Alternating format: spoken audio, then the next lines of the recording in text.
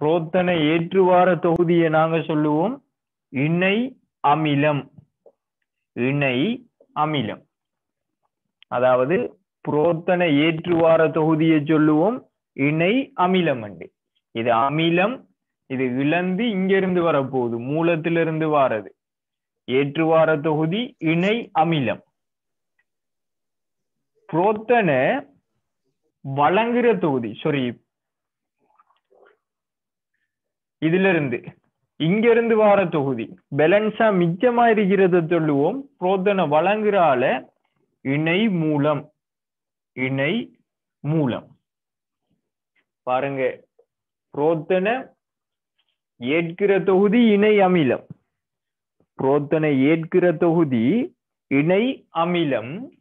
புரோத்தனை ஏற் வழங்குற தொகுதி இணை மூலம்.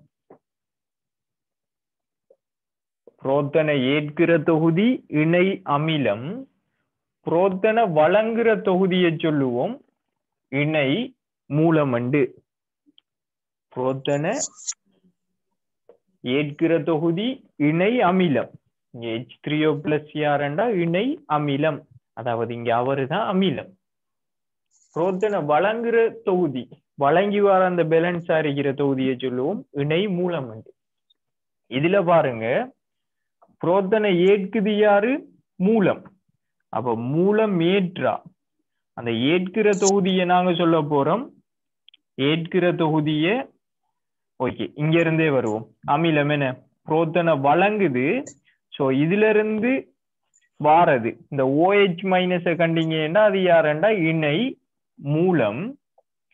ஓஹெச் மைனஸை கண்டிங்கன்னா அதை போடுங்க. இணை மூலம் அடுத்த கூரை போடுங்க. இணை அமிலம் இணை அமிலம். ஹெச் த்ரீஓ பிளஸ் கண்டா நீங்க போடுங்க அது இணை அமிலம். அடுத்த ஊரை போடுங்க இணை மூலம் வண்டு ரொம்ப கஷ்டப்படுத்த தேவையில்லை. ஓஹெச் மைனஸ் என்றா இணை மூலம் ஹெச் த்ரீஓ பிளஸ் என்றா இணை அமிலம்.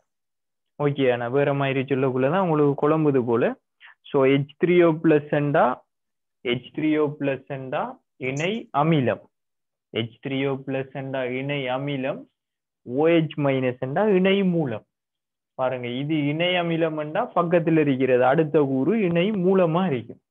இது இணை மூலம்ண்டா அடுத்த கூறு இணை அமிலமா இருக்கும். இது கட்டாயம் தேவை பின்னால.